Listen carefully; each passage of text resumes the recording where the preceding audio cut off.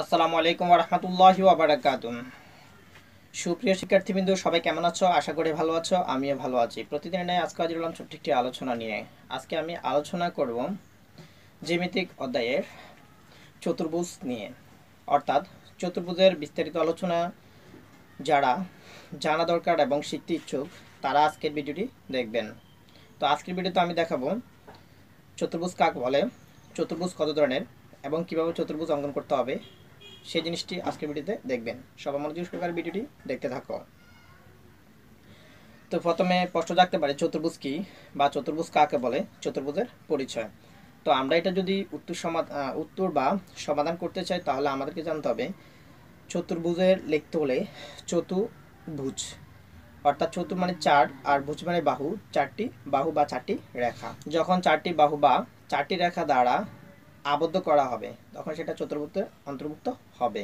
অর্থাৎ চারটি বাহু দ্বারা সীমাবদ্ধ ক্ষেত্রকে চতুর্ভুজ বলে। এই জিনিসটি হচ্ছে চতুর্ভুজ।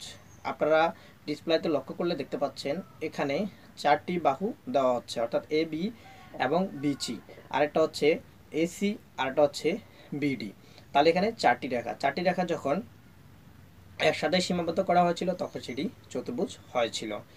এখন আপনাদের মনে প্রশ্ন জাগতে পারে, চতুর্ভুজ কত ধরনের? হতে পারে। তো চতুর্ভুজ বিভিন্ন ধরনের হতে পারে, অর্থাৎ চতুর্ভুজ ছয় ধরনের হতে পারে, সাধারণত আমরা জানি। কিন্তু এ ছয় প্রকারের মধ্যে চার প্রকার আমাদের পরীক্ষার উপযোগী মানে পরীক্ষাতে এসে থাকে। তাহলে আমরা আজকে সেই কম্পালসারি চারটি চতুর্ভুজ নিয়ে আলোচনা করব।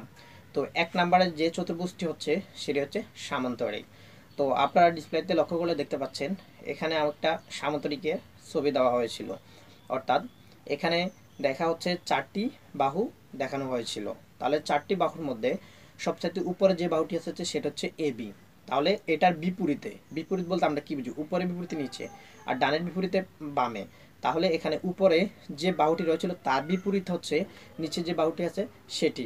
বাম পাশে যে বাহুটি আছে তার ডান পাশে যে বাহুটি রয়েছিল তার বিপরীত। অর্থাৎ এখানে বোঝাচ্ছি আমরা যে চতুর্ভুজের বিপরীত বাহুদয় সমান এবং বিপরীত কোণদ্বয় সমান।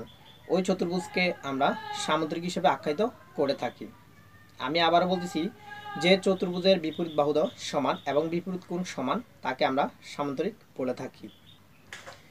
এখন আমরা আলোচনা করব আয়ত নিয়ে। তো আপনারা ডিসপ্লেতে আয়ত লেখার একটি ছবি দেখতে পাচ্ছেন। যে আয়তটা আমরা দেখতে পাচ্ছি, এটি হুবাহুব সামুদ্রিকের সাথে মিল রয়েছিল, কিন্তু কোনগতভাবে কিছুটা ডিফারেন্স রয়েছিল। তাহলে সামান্তরিকের যে সংজ্ঞা রয়েছিল, তার সাথে আয়ত যদি আমরা সংজ্ঞায়িত করতে যাই, তাহলে হবে যে চতুর্ভুজের বিপরীত বাহুদয় সমান। আর কোনগুলো হবে? সমকোণ। ওখানে আমরা বলছিলাম যে চতুর্ভুজের বিপরীত বাহু সমান এবং বিপরীত কোণদ্বয় সমান। কিন্তু এখানে হচ্ছে বিপরীত কোণদ্বয় সমকোণ। অর্থাৎ প্রত্যেকটি কোণ এক সমকোণ হবে। আমরা জানি এক সমকোণ সমান নব্বই ডিগ্রি। অর্থাৎ ভূমি অক্ষ লম্ব অক্ষ সবসময় সোজা থাকবে। তো আমরা এখানে যে আয়তর ছবিটি দেখতে পাচ্ছি, সে আয়তর মধ্যে হুবাহুব আমরা সমকোণের মতো পাচ্ছি। অর্থাৎ এখানে যে রেখাটা আমরা দেখতে পাচ্ছি, ভূমি এবং লম্ব সবগুলো হচ্ছে সমকোণ আকারে রয়েছিল। আমি আবার বলতেছি আয়ত কাকে বলে? যে চতুর্ভুজের বিপরীত বাহু সমান এবং কোনগুলো এক সমকোণ হবে, তাকে আমরা আয়ত হিসেবে চিহ্নিত করতে পারি বা তাকে আয়ত বলে। আশা করি সবাই সামন্তরিক এবং আয়ত বুঝতে পারলেন। এখন আমি আলোচনা করব বর্গ নিয়ে। তো বর্গ মানে কি? স্কোয়ার। স্কোয়ার মানে দুই, আমরা সবাই জানি। এখানে আমরা বোঝাচ্ছি যেটি স্কোয়ার হবে অথবা সাধারণত আমরা জমিকে আমরা স্কোয়ার ফিটে হিসেব করে নিই। তো আমরা এটাকে যদি বইয়ের পাশে বলতে চাই, তাহলে সেটাকে বর্গ হিসেবে আখ্যায়িত করতে হবে। এখানে যদি আমরা সংজ্ঞায়িত করতে যাই বর্গ কি, তাহলে আমাদেরকে বলতে হবে যে চতুর্ভুজের চারটি বাহু সমান এবং কোনগুলো এক সমকোণ বা কোনগুলো সমকোণ হবে তাকে আমরা বর্গ হিসেবে আখ্যায়িত করে নিব।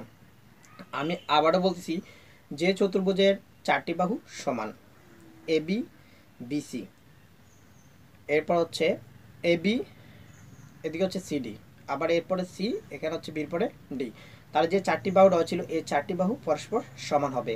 আর কোনগুলো সমকোণ হবে? আপনারা যে ছবিটি দেওয়া হচ্ছে, সেই ছবিটি লক্ষ্য করলে বুঝতে পারবেন, এখানে চারিটা বাহু সমান এবং চারোটা কোণেই এক সমকোণ। তাহলে সেই জিনিসটিকে আমরা বর্গ হিসেবে আখ্যায়িত করে নিব। এখন আমি আলোচনা করব রম্বস নিয়ে। তাহলে রম্বসটা কি? রম্বসের সাথে বর্গের সাথে প্রায় মিল রয়েছিল। সেই জিনিসটা হচ্ছে, বর্গতে চারটি বাহু সমান আর রম্বসও চারটি বাহু সমান।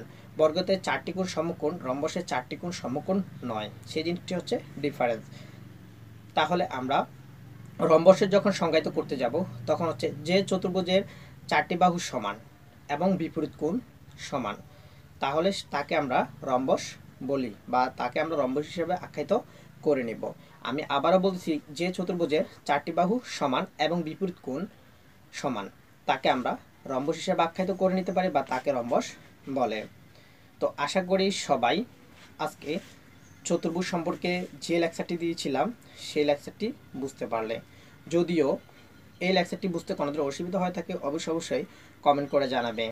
আর আমার ভিডিওটি যদি ভালো লেগে থাকে, অবশ্যই অবশ্যই লাইক এবং শেয়ার করবেন। আর এখন পর্যন্ত যারা আমার চ্যানেলটি সাবস্ক্রাইব করেন অবশ্যই অবশ্যই চ্যানেলটি সাবস্ক্রাইব করে পাশে থাকা বেল বাটনটি অন করে দেবেন। সবাই ভালো থাকুন, সুস্থ থাকুন। আবার দেখা হবে নতুন কোনো ভিডিও নিয়ে। আল্লাহ হাফেজ। আসসালামু আলাইকুম রহমতুল্লাহি ওবরাকাতুহ